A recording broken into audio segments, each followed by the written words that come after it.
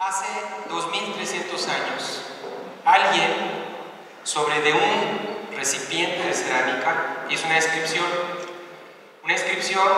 que según los especialistas en la lengua mijezoque se refiere a un textil que fue anudado, plisado, teñido y cortado. La descripción corresponde a la técnica que llamamos en japonés shibori, un término que engloba diferentes formas de comprimir la tela para lograr diseños, evitando la penetración del tinto. Esta técnica tuvo un simbolismo especial para la gente del México antiguo, y esto lo resalta el hecho que la tilma real, la prenda que marcaba el señorío de las personas más distinguidas en el centro de México,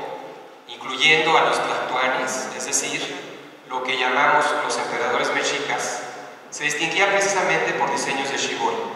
Y esto perduró después de la conquista española, de tal manera que todavía en los años 1700 los teñidos de reserva marcaban prendas de la élite, como lo atestigua un retrato que se conserva. El shibori persistió en México todavía hasta mediados del siglo pasado. Todavía en los años 1950, nuestra querida mentora,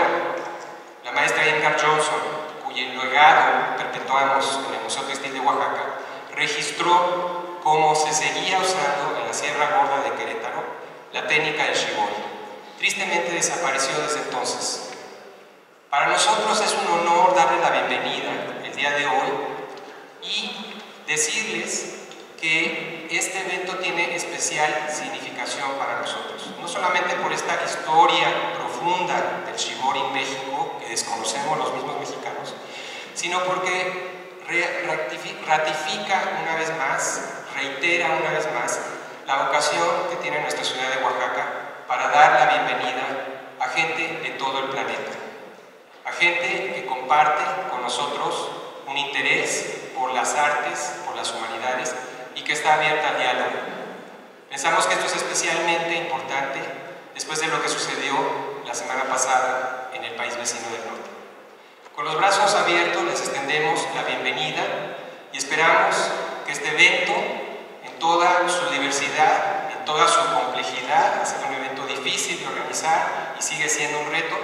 esperamos que sea una experiencia que no solamente signifique que ustedes se lleven a casa nuevos conocimientos, sino que vean que Oaxaca se suma al clamor mundial